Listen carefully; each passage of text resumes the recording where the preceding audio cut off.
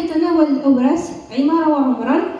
آه، كما قلنا فن العمارة بالأوراس من أعظم ما توصل إليه الإنسان الأوراسي في تاريخه حيث استطاع أن أن استطاعت هذه العمارة أن تثير اهتمام الباحثين وتستقطب الكثير منهم خاصة الغرب. فقد تمكن الإنسان الأوراسي من إنتاج عمارة مثالية من كل الجوانب كما يطلق عليها عمارة بدون أين خلق توازنا بينه وبين عمارته ووسطه الطبيعي دون حرف أو طمس وأنتج معالم معمارية وعمرانية ما زالت تتوغل ليومنا هذا في أعماق جبال الأوراس وتتوزع على ضفاف أوديتها الكبيرة لترسم بذلك لوحة فنية عنوانها أصالة وتراث معماري بالأوراس. هذا التراث الذي تم تصنيفه سنة 1928 ومن قبل فرنسا وإعادة الجزائر تصنيفه سنة 1964 كدشرة منعة ودشرة تاغوست كقلاع بالول وقلاع بالفن لكن هذه المواقع الآن هي في غياهب النسيان. هنا لوحة فنية تبرز لنا عظمة وجمال العمارة الأوراسية آه، المتمثلة في قلعة خوخريف ببانيان ولاية بسكرة. هذه القلعة التي بنيت بشكل دائري بالنسبة لمداشر الأوراس ما المقصود بمداشر الأوراس؟ هي تلك التجمعات السكنية ذات النسيج العمراني الكثيف تتموضع في, في أماكن صعبة على حواف صخرية أو ملتصقة بانحدارات شديدة تظهر على مستوى السفوح المطلة على الأودية بشكل متدرج من الأعلى إلى الأسفل وهي ذات مواقع قريبة من المياه. البعض منها يقع على سفوح الجبال وعلى ضفاف الأودية والبعض الآخر يقع على مرتفعات صخرية بشكل عظيم الكثيف. يطلق عليها باللغة المحلية هاغروت مثل دشرة تكوت مداشر الأوراس ليس لها نموذج موحد للتخطيط ولكنها تكون انسجام تام مع محيطها البيئي في الشكل واللون والمواد المحلية المستعملة في البناء. ينقسم المجال فيها إلى مجال فلاحي مجال سكني ومجال لمختلف المرافق.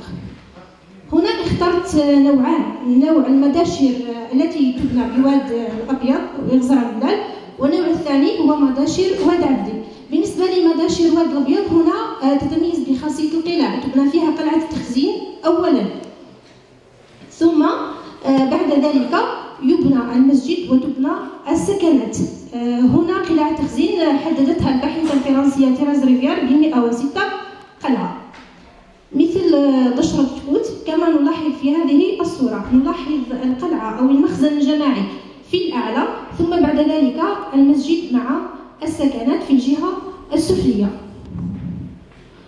بالنسبة لمداشر واد عبدي آه هذه المداشر يبنى فيها المسجد أولا ثم بعد ذلك تبنى السكنات فتأخذ شكل تلك الهضبة التي بنيت عليها. بينما عملية التخزين تكون في آه غرف أو في آه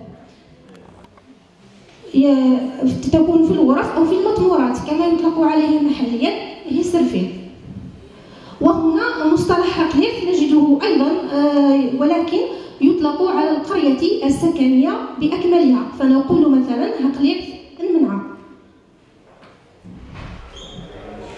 كما نلاحظ هنا تشرة منعة التي بنيت آه، في آه، أعلى الهضبة. بني فيها المسجد أولا ثم بعد ذلك بنيت السكنات فأخذ تلك الدشرة شكل تلك الهضبة. ننتقل الآن إلى منطقة تكوت أه ترجع النشأة التاريخية لهذه المنطقة إلى عدة قرون. هناك من يربط نشأتها بالعهد الروماني ولكنها تعود إلى قرون آه، قرون قبل قبل العهد الروماني. وهذا خلال الآثار التي نجدها متواجدة إلى يومنا هذا في المنطقة كمثلا كالقبور النوميدية. ويقال بالنسبة لتسمية تكوت يقال بأنها أخذت اسمها من اسم ملكة المنطقة في تلك المرحلة الرومانية التي كانت تدعى كوتا وهو اسم أمازيغي يعني الجوهرة لابير وينطق بيوفت وهناك مصادر أخرى أشارت إلى أن آه، تكوت تعني الحصن أو القلعة المبنية فوق مرتفع قرب الماء وهذا ما نجده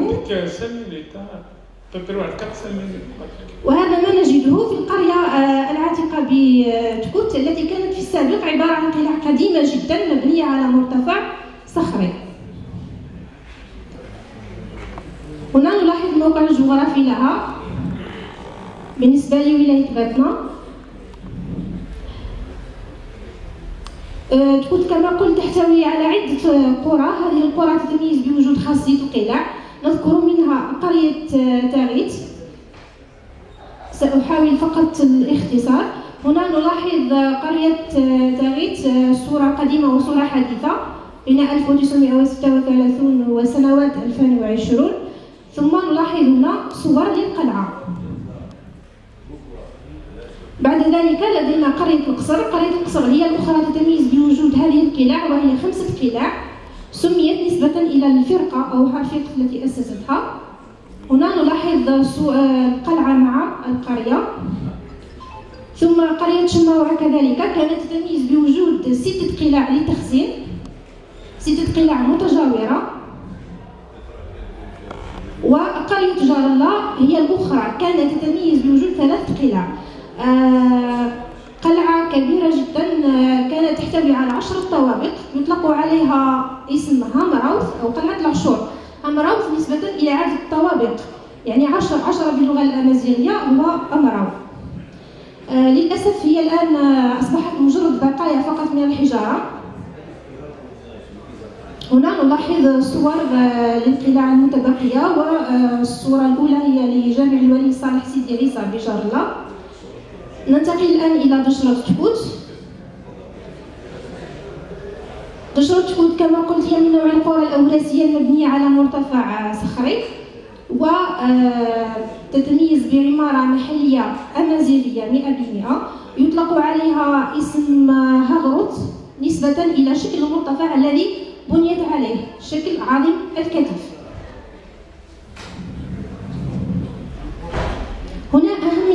التي تزخر بها البشرة حاليا. لدينا مسجد سيدي عبد السلام المبني سنة 1500 منبع المياه كذلك سمي نسبة إلى ذلك الولي صالح سيدي عبد السلام وحوض تخزين المياه الذي يعود إلى عدة قرون. جشرة تكون سنوات الثلاثينات هنا كما قلت نوع القرى الأوراسية المبنية بشكل عمودي على مرتفع صخري. آه، قال كلود موريس روبر في مقاله الذي تناول فيه زيارته للمنطقة بأنها نموذج مثالي للدشرة الشاوية الأمازيغية التي تتجمع مساكنها جنبا لجنب متخذة كتلة واحدة على شكل مدرج. آه، تتميز بنسيج عمراني متراص في الجهة السفلية ومتفرق في الجهة العلوية وتحيط به البساتين من الجهة السفلية وهي بساتين ذات مصاطب أو ذات مدرجات. نسيجها العمراني فيه آه، ثلاث عناصر أساسية. أولا القلاع ثم المسجد ثم المساكن. هنا نلاحظ النسيج العمراني القديم لبشرة كوت القلاع في الأعلى ثم السكنات. بعد ذلك البساتين من الجهة السفلية.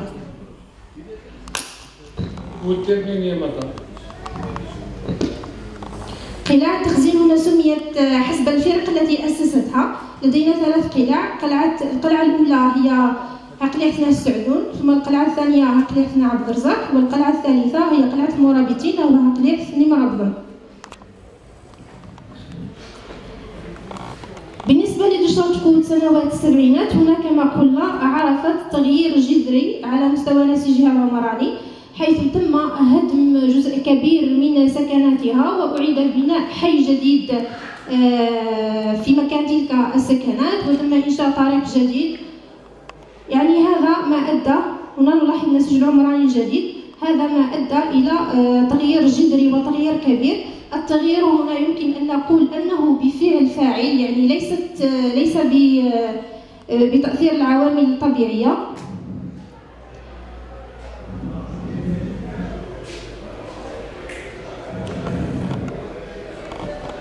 هنا القلاع المتبقية. القلعة الأولى هي عقلية السعدون هي القلعة الأكثر تضررا.